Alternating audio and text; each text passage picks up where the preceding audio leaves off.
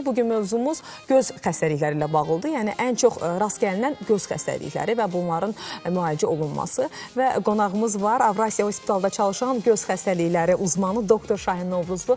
Xoş gəlmisiniz. Xoş gördük sizi də. Ə, Çox təşəkkürlər dəvətimizi qəbul edib gəldiniz. Sizin üçün də xeyirli olsun. Təşəkkürlər. Gəlin ilk olaraq bu xəstəliklərdən danışaq da. Bax, uşaqlarda, uşaqlarda və böyüklərdə təbii ki, Bəli. çəpgözlük ə, daha çox müşahidə olunur. Uşaqlarda çəpgözlük və göz tənbəlliyi. Bəli. Yəni doğrudan da günümüzdə ən çox rast gəldiyimiz uşaqlarda ən çox göz problemləri çəpgözlük və göz tənbəlliyi. Ya ikisi də bir-birinə sıx bağımlıdır. Tənbəllik ilə çəpgözlük və vaxtında düzgün müalicə olunmadığı zaman gözlər tənbəl qalır. Yəni göz xəstənin ikili görməsi, iki gözlə birlikdə binoklər görməsi formalaşmır və gələcəkdə hər hansı bir ixtisas seçimində məsəl üçün cərrahiyyə, mikrocərrahiyyə olsun və ya başqa üç boyutlu görmənin qabaca desək, önəmli olduğu ixtisas seçimlərində e, bu insanlar işləyə bilmirlər. Yəni tənbəl göz çox vacib bir şeydir. Nəyə görə? Çünki bunun qarşısı alına bilir. Vaxtında düzgün diaqnozla.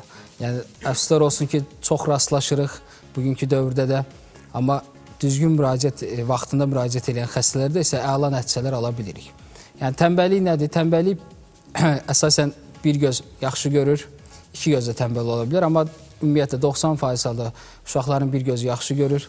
Uşaqlar hər şey bir şey edirlər bütün yaşlıları ilə bərabər. Evdə heç bir problem yaşamır valideynlər. Görünüş cəhətdən uşaqların gözündə heç bir dəyişiklik yoxdur. İki göz də eynidir, amma bir gözün nömrə ehtiyacı olduğu üçün, eynək ehtiyacı olduğu üçün, yəni gözün iki göz arasında nömrə fərqi olduğu üçün bir göz tənbəl qalır. Yəni uşaq müayinə olunmayana dək bu tənbəllik bilinmir. Başa aydındır. düşürsünüz? Yəni gözlə görülür bir şey deyil. Yaxşı, çəpgözlük zamanı ə, əməliyyat, yo eynək yoxsa əməliyyat? Çəpgözlük zamanı çəpgözlüyün növünə görə müdaxilə dəyişir. E, təbii ki, eynəklə düzələn növləri var. Şəkillər gətirmişəm, onları zəhmət olmasa göstərərsiniz. E, belə deyim, yəni bunu həkim qərar verməlidir. Göz həkimi eynəklə düzəlib düzəlmədiyinə əsasən içəri çəpliklər, buruna tərəf olan çəpliklər eynəyə daha yaxşı cavab verir. Yəni akkomodativ növləri var. Yəni burada gördüyünüz şəkildə yuxarıdakı şəkil eynəksiz şəkildir xəstənin, altdakı şəkil eynəkli şəkildir və çəpliyin nə qədər fərq etdiyini eynəklə görürsüz. Yəni buna aid bir dənə videomuz da var. Bizim bir məşhur videomuz var bu eynəklə əlaqədar. Baxa bilərsiniz. Eynəyi Yayınlanıb çıxardan kimi gözlər çəpləşir, taxan kimi gözlər ortaya gəlir. Yəni bu xəstələrə eynək mütləq təyin olunmalıdır. Və bu xəstələrə əməliyyat etmək olmaz. Qəti. Çünki akkomodasiya dediyimiz, yəni eynəklə düzələn e, çəpliklərdə 14, bəzən 15 yaşlarında bu akkomodasiya sönür. Yəni gözü ortaya baxdıran, gözü buruna tərəf çəkən bir güc deyək qabaca desək. Bu söndükdən sonra əgər o xəstələr əməliyyat olublarsa, eynəklə müalicə olunmublarsa, gözlər başlayır çölə çəpləşməyə. Yəni bugünkü dövrdə bununla da çox rastlaşırıq. Xəstənin düzgün eynəyi təyin olunmayıbdı, vaxtında eynək yerinə əməliyyat olubdu və əməliyyatdan sonra xəstənin gözü ortaya gəlibdi. Hamısında şikayəti bu olur ki, doktor yaxşı idi. 14-15 yaşından sonra başladı gözləri çölə axmağa. Çünki o akkomodasiya dediyimiz komponent üzə o yaşlarda ortadan qalxır. Yəni nəyə diqqət eləmək lazımdır çəplik xəstələrində yekunlaşdırmaq lazımdırsa, eynəklə düzəlirsə qəti əməliyyat olmaz. Bəziləri yarısı eynəklə düzəlir, qismi refraktiv deyirik bunlara. Bu qismdə eynəklə düzələni eynəklə düzəldirik, altda qalan çəpliyi əməliyyat məsləhət görürük. Amma bəzi növlərində isə mütləq əməliyyat göstərişdir. Aha, aydındır. Bəs yaxşı, tənbəlliyin müalicəsi varmı? Bəs bəs necə? Tənbəlliyin müalicəsi var. Tənbəlliyin ən effektiv müalicəsi məqalələrdə də göstərilib 10-12 yaşına qədərdir. Yəni bu qapama müalicəsindən xüsusi aparatlar var hansı ki gözün e, görmə mərkəzinin inkişafını artıran, sürətləndirən bu aparatları getməklə, qapama müalicəsi ilə gözün tənbəlliyini ortadan qaldırmaq olar. Yəni bu mübarizədə həqiqətən bizə valideynlər çox böyük dəstək olmalıdırlar həkimlərə çünki uşaqların ta ki bir gözünü qapamaq lazım. Bəzilərinə 2 saat deyirik, bəzilərinə 6 saat deyirik. Bunu valideynlər nəzarət eləməlidir və ya bağça və ya məktəb şəraitində nəzarət olmalıdır. O dediyimiz aparatlardan mütəmadi 3 aylıq, 4 aylıq aralıqlarla keçməlidirlər ki, o gözlər tənbəllikdən qutarsın. Çünki sərhəddimiz 10-12 yaşdır. Ondan sonra fayda görmə ehtimalları azalır. Və nə qədər erkən başlasaq da o qədər tez nəticəyə gəlib çatırıq. Aydındır. Bu təbii ki, xəstəlik, e, çəpgözlük təkcə uşaqlarda deyil, böyüklərdə Bəli. də e, var və şəkər xəstəliyinin göz fəsadları, mirvari suyu, daha sonra qara suba bu haqda da gəlin danışaq. Bəli. O şək, e, çəpgözlüyün dediniz böyüklərdə də var. Bir dənə də böyük xəstəmiz əməliyyat şəkli var orada. Aha, göstərəcəyin. Yəni çünki bəzən bir çəpgözlüyü yekunlaşdırım. E, bəzən xəstələr deyirlər ki, e, əməliyyatın vaxtı nə zaman olmalıdır? Yəni əməliyyat vaxtı deyə bir sərhədimiz yoxdur. Anadan gəlmə formalarında bəzən 2 yaşa qədər gözləyir. Ondan sonra istənilən yaşda bu əməliyyat ola bilər. Və o binoklər görmə dediyim şey formalaşana qədər bu əməliyyatın olmağı daha vacibdir. Yəni o mif kimi bir şey var. Ta ki xəstənin 18 yaşından sonra əməliyyat olar və ya 15 yaşından sonra əməliyyat olar. Onlar düzgün deyil. Yəni şəkər xəstəliyi dedik. E, şəkər xəstəliyi həqiqətən yəni ən çox rastlaşdığımız, ən çox rast gəlinən, bütün dünyada da belədir. Önlənə bilər korluğun ən əsas səbəblərindən biridir. Yəni önlənə bilir deyirəm nəyə görə? Həqiqətən insanlar şəkər xəstəliyindən kor olursa, demək ki, çox gecikdirilmiş formadadır və ya müalicələr düzgün getmir. Yəni korluq riski var şəkər Bəli, xəstəliyinin. çox yüksəkdir. Yəni korluğun səbəb olan xəstəliklər arasında ilk üstə şəkər də vardır. Yəni nə etmək lazımdır? Şəkər xəstələri nəyi dərk eləməlidirlər, necə nəyə diqqət eləməlidirlər? Diaqnoz qoyulduğu anda şəkər xəstəliyi diaqnozu göz həkiminə müraciət eləməlidirlər. Aha. Bəli. Yaxşı, şəkər xəstəliyi olan bütün gözlərə iynə vurmaq olarmı? Yox. E, iynə gözün arxasında görmə mərkəzində sızıntılar, çünki şəkər xəstəliyində damar keçirgənliyi də pozulur. Bu sızıntılar nəticəsində görmə mərkəzimizdə ödəm əmələ gəlir. Bu e, iynə vurduran insanlar baxırlarsa, onlar daha yaxşı dərk edəcəklər. O ödem dediyimiz, sızıntı, maye dediyimiz yerə iynə ilə onu gerilədirik. Yəni bütün şəkər xəstəliklərini, şəkər xəstələrinin gözlərinə iynə vurmaq düzgün deyil. Bəli. Yəni hamıya mümkün deyil. Yəni belə deyim, bəzən qopmaya, traksiyaya, qansızmalara gətirib çıxardır. Orada şəkillər var, məsəl üçün qansızmalar. Bu kiçik qansızmalardır. Bu Dedim, bu görürsüz daha böyükdür. Bəzən göz almasının qansızma içini doldurur. Və torlu qişada qopmalara səbəb olur. Və qopma başlayan xəstələrə iynə vurduğumuz zaman bu qopmanı daha da sürətləndiririk. Başa Bu iynənin sayı varmı? Yəni neçə dəfə vurulmalıdır? Bəli.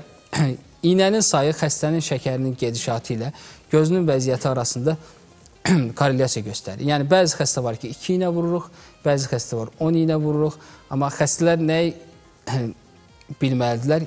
Yəni şəkər xəstəliyinin bir dəfə iynə ilə müalicəsi yoxdur. Başa düşürsünüz? Yəni bu vurduğumuz iynələr peyvənd deyil. Damar gediləci iynələrdir və bu iynələrin bir ay müddəti var. Gözə təsir edir. Təbii ki, ən çox istifadə olunanların bir ay müddəti var. Bəzi növləri var ki, implant kimi gözə yerləşdiririk, 6 ay təsir edir. Yəni şəkər xəstələri ciddi nəzarətdə qalmalıdır. Ona görə biz hər vur, iynə vurduğumuz xəstəni ayda bir e, müayinəyə dəvət edirik. Ha, bəs yaxşı, əks halda lazer ola bilər, Bəli. misal üçün. Lazerlə iynənin göstərişi biraz fərqlidir.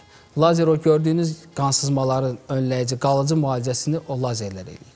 Yəni lazerlə yeni əmələ gəlmiş damarları yandırırıq göz zibində. Bunu təbii ki, bir neçə seansda edirik. 3 və ya 4 seansda yekunlaşdırırıq və bununla lazerlə gözü həm qansızmadan qoruyuruq, həm də gələcəkdə qopma əmələ gəlməsindən qoruyuruq. Nə nəyi unuduruq bu şəkər xəstələrinin müalicəsində? Çünki bir ən çox rast gəldiyimiz, ən çox da insanı insana təsir edən xəstələrin gecikmiş formada gəlməsidir. Yəni bunu dəfələrlə vurğulamışıq.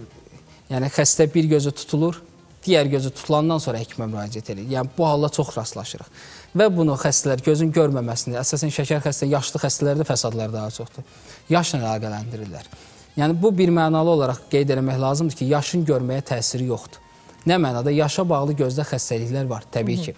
Amma xəstəlikdir bunlar. Yəni 80 yaşımızda olsa, 60 yaşımızda olsa gözümüz 100% görməlidir. Yəni görmürsə demək ki, problemlər başlayıb. Yaşla əlaqəsi yoxdur. Aha. Yəni mütləq həkimə müraciət etmək lazımdır. Və ikinci növbədə nəyə diqqət etməlidir şəkər xəstələri? Yəni şəkərləri qaydasında getməlidir. Əgər həkimdən düzgün müalicənin düzgün getdiyinə əmin olmaq istəyirlərsə, necə deyirlər, nəticənin daha yaxşı olmasını istəyirlərsə, şəkərləri də kontrolda saxlanmalıdır. Çünki iynə xəstələrimizdə bunu çox müşahidə edirik. İynəni vururuq, bir ay, iki ay, biraz ara veririk, hər şey qaydasında göndəririk. Xəstə gəlir 3 aydan sonra əvvəlkindən daha pis vəziyyətdə. Yəni yemədim, qonaqlığa getdim və ya başqa bir şey tədbir oldu, biraz rejimə qidalanmağa fikir vermədim. lazımdır da, hər şey zamanında və məsuliyyətlə. Çünki e, bir komanda işidir. Yəni endokrinoloqun da rolu var burada, xəstənin özünün də rolu var. Çünki hərəkətli dietasına o diqqət eləməlidir və göz həkiminin düzgün yönləndirməsi vacibdir. Aydındır. E, doktor, mirvari suyu nə vaxt əməliyyat olunmalıdır? Mirvari suyu bildiyiniz kimi o gözümüzün içindəki büllurun bulanmasıdır. Hı. Əməliyyat vaxtı, yəni xəstədən xəstəyə dəyişir. Nə mənada? Yəni amma bütün dünyanın qəbul elədiyi əməliyyat ehtiyacı olmaq, bizim xəstələrin dilində də yetişmiş mirvari suyu, katarakta dediyimiz şey, yəni görmə əgər 50%-in altına düşübdürsə, artıq əməliyyat barədə danışmaq olar. Yəni təəssüflər olsun ki, bugünkü gündə bütün demək olar ki, göz klinikalarında bu əməliyyat katarakt əməliyyatı həyata keçirilir. Rayonlarda olsun, istər Bakı şəhərində olsun. Amma buna baxmayaraq yenə katarakt xəstələri də gecikmiş formada gəlirlər. Düzdür, kataraktın gecikdirilməsi, e, yəni katarak önlənə bilir, korluq dediyimiz əməliyyatdan sonra gözün gücü varsa, göz arxası normaldırsa, xəstələr görürlər. Yəni əməliyyat da bir işləri bitir. Amma bəzən o qədər gecikdirirlər ki, bu mirvari suyu şişir, qara suya çevrilir, qlakoma dediyimiz xəstəliyə. Aha. Və bildiyiniz kimi də qara su gözdə daha qalıcı təsir, xəsarət bağış verir. Yəni mirvari suyu görmə faizini 50%-dən aşağıya salıbsa, əməliyyat göstərişimiz vardır. E, bəzən işlə əlaqədar, məsəl üçün mühəndislərdə, bəzən həkim yoldaşlar olur. Deyirlər ki, daha dəqiq görmək istəyirəm. Bəzən onları xahiş eləyə, xəstənin məsləhət, xəstələrlə məsləhətləşib 70% görmək ilə əməliyyata götürmək ehtimalımız olur. Amma yaşlı insandılar, əgər e, görməklə bağlı e, ciddi bir işləri yoxdursa, necə deyirlər, qabaca desək, 50% gözləmək məsləhətdir. Çünki hər bir əməliyyatın riski vardır. İndi şükürlər olsun, yəni texniki vasitələrdən çox istifadə edir. Yəni lazer əməliyyatı, e, katarakt əməliyyatını artıq xalq dilində lazer deyilən fakolmiskasiya ilə həyata, e, həyata keçiririk və gözəl linza qoyuruq. Yəni insanları maraqlandıran suallardan biri də odur ki, bu linza daimi gözdə qalacaqmı? Aha. Bəli, linza ömürlükdür. Əgər bir travma alınmadığı müddətcə, linza yerindən oynamadığı müddətcə, yəni bu ekstremalları deyirəm sizə, e, linza ömürlük gözə qoyulur ki, ki ömrün axırına qədər görməni qırıcılığı təmin eləsin gözlə. Çünki öz billurumuzun da bir qırıcılığı var. Aha. Və hər kəsdə nömrə standart deyil, dəyişik nömrələrdə linzalar olur. Linzanın növləri də çoxdur, sərt linzalar, yumşaq linzalar, amma bugünkü gündə lazerlə elədiyimiz əməliyyatlarda artıq yumşaq linzalardan istifadə edirik. Aydındır. Bu qara su zamanı damcı müalicəsi yoxsa əməliyyat Bəli. daha yaxşı yerinə düşür? Yəni qara su, yəni bu mirvari su ilə daha təhlükəli bir xəstəlikdir. Nəyə görə? Qara su qlakoma xəstəliyi zamanı gözün daxilində artan təzyiq görmə sinirinə sıxır, yəni baskı edir və görmə sinirində bir xəsarətə səbəb olur. Və bu görmə sinirindəki xəsarət də əfsuslar olsun ki, geri qayıtmır. Yəni ona görə qara su qalıcı korluğa apara bilən xəstəlikdir. Bəli. Dərman müalicəsi mi, əməliyyat mı? Yəni ilk seçim təbii ki, xəstənin gözünün vəziyyətinə görə, təzyiqin yüksəkliyinə görə. Yəni standart təzyiq Bu da gözlər üçün fərqlidir. Necə qan təzyiqimiz fərqlidir? Bu qlakoma üçün də göz təzyiqi fərqlidir. Yəni norma götürürük, 10 ilə 22 arasında norma götürürük. Amma bu ölçümlərə bir çox faktor, buynuz qışanın qalınlığı, göz dibinin vəziyyəti və s. Aha. Demək, xəstələrə birinci damcı başlanmalıdır. Əgər damcı müalicəsinə cavab olmadıqda, Aha. artıq qlakom əməliyyatı barədə fikirləşmək lazımdır. Amma qara sunun bəzi növləri var ki, məsələn, anadan gəlmə növləri, və ya neovaskülər növləri, bu neovaskülər dediyim şey şəkər xəstəliyindən və damar tıxanıqlığından sonra daha çox əmələ gəlir ki, bunlarda məsəl üçün damcı müalicəsinin o qədər effekti olmur. Yəni buna həkim qərar verməyə məsləhətdir gözün vəziyyətinə görə. Yəni damcılara mən üstünlük verirəm. O dediyim birbaşa əməliyyat göstərişi olmayan formalarından başqa. E, yəni əlimizdə 3-4 damcı var ki, hansı ki onları bir yerdə istifadə edə bilirik. Və bunların gözün təzyiqinə görə damcı sayı seçilir və qara su xəstələrindən də xahişimiz olur ki, bu damcıları düzgün qaydada və dayandırmadan istifadə etsinlər. Çünki e, bayaq kəşər xəstələrində iynədə vuruladığım kimi xəstə damcısını tökür gəlir, hər şey qaydasında gedir. Məsəl üçün 2 ay 3 ay tökmür və gözdə xəsarətlə qayıdır və bu xəsarət geri qayıtmır. Aha, aydındır. Doktor, söhbətimizi davam elətdirəcəyik. Hal-hazırda bir dənə görüntümüz var, izləyək. Tələbinizlə yarandıq, xidmətimizlə seçildik, etimadınızla böyüdük. Sağlam yaşam üçün qapılarını açan Avrasiya Hospital 6000 kvadrat metrlik qapalı ərazini əhatə edən 50 yataqlı cərrahi stasionar, 15 yataqlı reanimasiya şöbəsi, 4 cərrahi, 2 angiografiya cihazı ilə təchiz olunmuş əməliyyatxana, bütün poliklinik şöbələri özündə birləşdirən, ən nadir cərrahi əməliyyatları icra edən, hər xəstəyə dəyərli qonağı kimi 5 ulduz göstəriciyə bərabər özəl yanaşması və xüsusi şəraiti ilə xidmətinizdədir.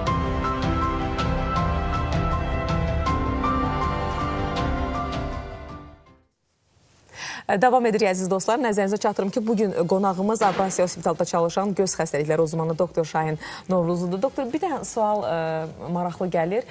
Ə, deməli, biz bəzən olur ki, gözümüzdə hər hansısa bir problem olur, göz ağrısı, göz qızartısı və avtomatik olaraq yaxınlaşırıq hər hansısa bir aptekə.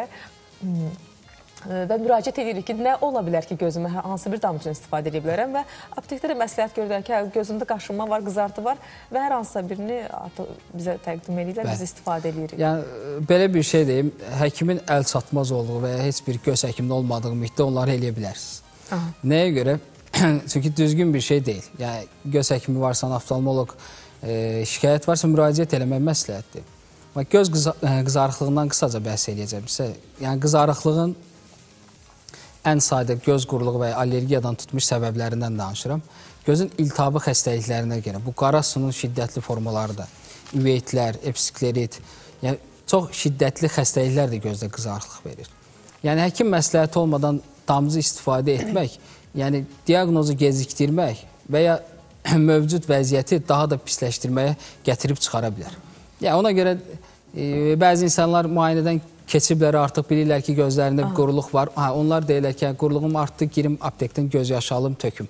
Amma diaqnozunu bilməyən xəstələr, insanlar, yəni hər hansı bir damcını istifadə eləməkləri məsləhət deyir. Və ya uşaqlarda gözdə bir kirlənmə, konjunktivit olan kimi e, adını çəkmək istəmirəm, bəzi mazlar istifadə olunur. Yəni bu mazlar, e, məsəl üçün uşaqlara uşaqlarda istifadə olunması düzgün deyil. Antibiotiklər çünki bəzi antibiotiklərin yaş sərhədimiz var ki, nəyə görə gözə istifadə olunan bütün dərmanlar göz yaşı kanalı vasitəsilə buruna, oradan da ağza qarışıb bədənimizə yayılır. Hı. Yəni ona görə bütün göz damcılarının, dərmanların da yan təsirləri vardır. Yəni düzgün seçilmədiyi zaman uşaqlarda, böyüklərdə və ya adi qlakoma xəstələrində, qarasuz xəstələrində damcı müalicəsində xəstənin təzyiqi varmı, aritmiyası varmı, asması varmı? Bunların hamısına diqqət etmək lazımdır. Yəni ona görə də bir mənalı olaraq dediyim kimi, yəni bir əl çatmaz, çıxılmaz vəziyyətdədirlərsə, yəni onu yəni başa düşülən bir şeydir. Amma yəni göz həkimində müayinə olmadan damcı istifadəsinin çox tərəfdarı deyilik. Biz bəzən düşünürük ki, yox, hər şeydən ötürü əslində həkimə həmişə müraciət etmək lazımdır. Amma bəzən çox təəssüf ki, Bəli. düşünürük ki, yox, yaxşı, gedib özüm həll eləyəcəm də bir dənə damcı da istifadə eləyəcəm, keçib gedəcək. Bəli. Amma yəni adi bir şey deyim olur. sizə, bu istifadə olunan gözə istifadə olunan linzaların taxılıb çıxarılan linzaların o qədər böyük fəsadları var ki, düzgün istifadə olunmadığı Onları yaşayan zaman. insanlardan biri mən. Bəli. Yəni ona görə hər şey qayda qanunla, hər hansı bir şikayət oldu vaxtında həkimə müraciətlə bunların yəni mən linza istifadəsindən sonra Türkiyədə asistent vaxtı linza istifadəsindən sonra buynuz qışa transplantasiyasına ehtiyac olan bir xəstə görmüşəm Aha. dəfələrlə. Yəni ona görə çox ciddi bir şeydir. Yəni gözə istər tökülən damcılar, istər istifadə olunan linzalar. Yəni bəzən bu əsasən bu gözün üveyiti dediyimiz, iltihabı dediyimiz xəstəliklərdə bu yaxınlarda e, bir neçə xəstə ilə rastlaşmışam məsəl üçün. Yəni bilmirəm heç eşitmisiniz yoxsa gözün vərəmi varmı, yoxmu? Sizə var? Var. Bəlkə də birinci dəfə də eşidirsiniz. Xəstəyə deyəndə ki, gözdə vərəmə bağlı problemlər ola bilər. Xəstə təəccüblə qarşılayır və inkar eləməyə çalışır ki, biz məndə vərəm yoxdur və ya heç bir və analizlərlə bu ortaya çıxarıldıqdan sonra yəni görürük ki, vərəm xəstəliyi gözdə heç bir başqa orqan tutulmadan belə tək gözdə problemlər yarada bilər. Yəni göz o qədər mürəkkəb, o qədər necə deyirlər, orqanizmlə bağlantılı bir orqandır. Yəni ona görə şikayətlərin kiçimsəmək, gecikdirilməsi sinir liflərində gözün tərkibini dolduran sinirlər. Çünki gözü necə qəbul etmək lazım? Göz beynin çıxıntısıdır. Yəni beynimiz necə sinir toxumasıdır, gözdə o şəkildə qəbul etmək lazımdır və bu sinir toxumasında olan xəsarətlər çox vaxt geri qayıtmır. Yəni, çünki fotoreseptor səviyyəsində sinir hüceyrələrindəki xəsarətlər geri qayıtmır. Ona görə də kimlər diqqətli olmalılar göz baxımından? Bu, əgər bir mesaj verəcəksə, şəkər xəstələri çox diqqətli olmalıdırlar. Təzyiq, qan təzyiqi yüksək olan insanlar çox diqqətli olmalıdırlar. Revmatizmal xəstəliyi olan in- insanlar diqqətli olmalıdırlar. Zob xəstəliyi gözə təsir eləyir. Yəni beyin daxili bütün törəmələr əgər görmə yollarına yaxındırsa, bütün xəstəliklər gözə təsir edə bilir. Yəni qan xəstəlikləri, laxtalanma problemləri, bunlar hamısı gözə təsir edir. Yəni necə bəs bunlardan qurtulmaq olar? Yəni şəkər xəstəliyiniz varsa, diaqnoz qoyulubsa, artıq müraciət eləməlisiniz, göz həkimi sizin gözünüzü dəyərləndirməlidir. Aha. Yəni belə deyim, nəinki şəkər xəstəliyi olub gözə müraciət edir. Bəzən biz şəkər xəstəliyini gözə baxıb diaqnozunu qoyuruq. Xəstələr şəkər xəstəliyinin də diaqnozunu gecikdirirlər. Yəni biz gözə baxırıq, deyirik ki, sizin şəkəriniz var, gözünüzdə problem var. Xəstə deyir ki, yox, mənim şəkərim yoxdur. Amma gedir analizlər verir, bu ortaya Yoxladır. çıxır. Bəli. Yəni ona görə e, 40 yaşından sonra göz xəstəlikləri artır. Bu qara su istər, mirvari suyu. Yaş artdıqca göz xəstəliklərinə meylliyi artır. Şəkərli diabetin müddəti vacibdir. Yəni 10 illik şəkər xəstəliyi ilə 20 illik şəkər xəstələri arasında göz fəsadları baxımından 20 il şəkəri olan daha risk altındadır. Yəni şəkəriniz nə qədər uzun müddətli varsa, o qədər gözləriniz risk altındadır. Bunları necə korluqdan necə qurtarmaq olar? Bəzən e, dünən bir xəstə ilə bir yarım saata qədər söhbət eləmişik bu haqqda. Xəstələr o qədər gecikmiş vəziyyətdə gəlirlər ki, xəstənin bir hərəkət hissi, 1 metr görmə hissi olur qopma, torluq şada incəlmələr, qidalanma pozğunluqları. Yəni bu xəstələri vitre- vitrektomiya əməliyyatı edirik, göz dibi əməliyyatı hansı ki, həm göz daxili qansızmalarda edirik, həm torluq şanın qopmalarında, həm torluq şanın üstündə membran pərdələrdə. Bəzən bu dərəcə ağırlaşmış xəstədə gözə toxunmağa biraz çəkinirik. Çünki torluq şah o qədər incəlib, o da qədər qidalanması pozulub ki, xəstənin görməsini belə itirmə riskimiz olur mövcud görməni. Yəni ona görə şəkər diaqnozu qoyuldu, müayinələrdən keçdi. Həkimlər lazer təklif eləyirsə, bunu qəbul etmək lazımdır. Bəzən bunu tam ciddi göstərmək üçün anjiyo çəkirik, yeni damarlanmaları göstərmək üçün. Lazerlə o yeni damarlar yandırılır şəkər xəstələrində ki, o damarlar inkişaf edib göz daxili qansımalar verməsin, torlu qışada qopmalar verməsin. İynənin sayını dəqiq təxmin eləmək falçılıq kimi bir şeydir həqiqətən. Yəni bunu heç kim həkim və ya xəstə iddia edə bilməz. İynənin sayı xəstənin gözünün vəziyyəti ilə, qan şəkərinin gedişatı ilə və həkimin seçdiyi taktika ilə birbaşa uyğundur. Nə mənada iynələrimiz aylıqdır, bunu nəzərə saxlamaq lazım. Bəzən xəstələr deyir ki, qonşumuz deyir mənə 2 ay vururlar, bəzilərini 3 ayda bir vururlar. Yox. Standart iynələrin müddəti 1 aylıqdır. Amma bəzi iynələr var ki, həqiqətən onlarda 2 ay, 3 ay gözləyə bilirik. Bəziləri dediyimiz kimi implantlı gözün daxilinə qoyulur, 6 ayda müddəti çəkə bilir. Aydındır. E, Bəzən olur ya doktor, gözlərini qıyıb baxma.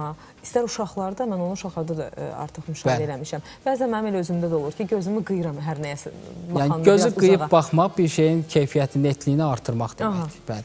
Amma qıyıb baxırıqsa, normal Bu bir məsafədən mesajdır mənim üçün artıq Bəli, ki, müraciət eləməliyəm. bəli, hamının gördüyü məsafədən əşyaları, yazıları seçə bilmirik. Qıyıb baxırıqsa demək ki, sizin eynək ehtiyacınız vardır. Yəni qıyıb baxmaq eynək ehtiyacının göstərgəsidir ki, biz e, qıyıb baxanda o nömrə ehtiyacını azaldırıq. Aha, aydındır. Bəs yaxşı, ümumi olaraq son olaraq mesajınız e, nədir ki, yəni necə qoruyaq özümüzü bu göz xəstəliklərindən? Amma e, bir də siz qeyd elədiniz, orada sualım qalmışdı ki, e, hansı yaşda uşaqlar misal üçün neçə yaşına qədər tez bir zamanda müraciət etsinlər? Müraciət eləməlidirlər. Hansı əlaməti görən kimi Bəli. dərhal? Gö o yeni e, vaxtından əvvəl doğulmuşlar, onları həkimlər yönləndirir, ailələr də diqqətli olmalıdırlar. Onlar mütləq müraciət eləməlidir. Yəni 1500 qramın altı 31 həftənin altında anadan olubdularsa, göz həkimi müayinəsini mütləq keçməlidir. İkinci kimlər keçməlidir? Anadan olandan sonra gözündə hər hansı bir dəyişik görüntü olanlar, bəbəyin ortasında ağ ləkə görsənənlər və ya çəpliyi olanlar, bunlar mütləq.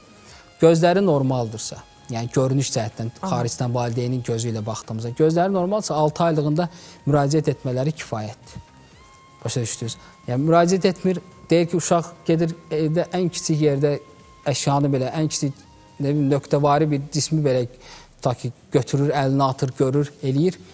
Biz heç şübhələnmədik ki, bu uşağın gözündə tənbəllik ola bilər. Olur. Nəyə görə? Çünki bir göz yaxşı görür. Uşaq bütün işlərini ondan görür. O dediyi kimi valideynlər də elə hiss edir ki, uşaq hər şeyi görür. Amma o digər göz tənbəl qalır. Aha, aydındır. Yəni uşaqlar də- çox vacib. Nəyə görə? Çox bəsit, sadə yollarla bu tənbəllikdən canımızı qurtarır. Tez bir zamanda. Bəli, açqı verilir, qapama müalicəsi. Yəni buna görə uşağın gələcəkdəki həyatına niyə təsir eləsin? Düzdür. Doktor çox maraqlı söhbət getdi. Çox sağ olun. Təşəkkürlər. Siz sağ olun, buyurun. qəbul ediniz, gəldiniz. Şəxsən mənim üçün çox maraqlı oldu. Əziz dostlar, nəzərinizə çatdırım ki, bugün qonağımız Avrasiya Hospitalda çalışan göz xəstəlikləri uzmanı doktor Şahin Novruzlu idi.